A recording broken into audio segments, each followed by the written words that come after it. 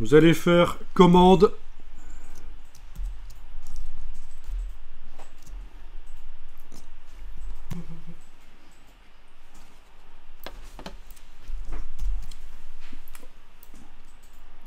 Alors on va faire apparaître les repères commentés, ce sera plus simple ici.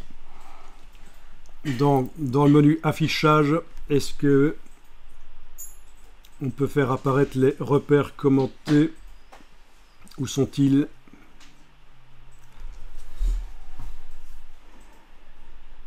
Les repères commentés, vous les avez trouvés?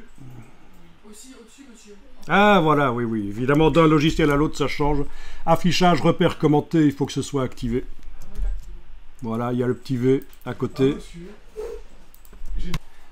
Alors voilà, avec la flèche noire, vous prenez le carré ici, la touche Alt, vous le déplacez avec la touche Shift. À un certain moment, vous voyez ce petit signe en bas, 10 mm.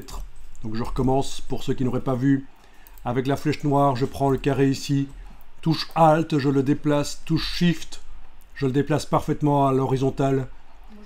À un certain moment, on a ça qui apparaît qui indique que la distance entre ces deux-là est la même qu'entre les deux autres. Voilà. Ben oui, que là.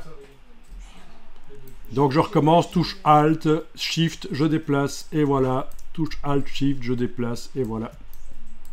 Vous pouvez le faire plusieurs fois comme ça, c'est pas mal. Les repères commentés, ça peut aider.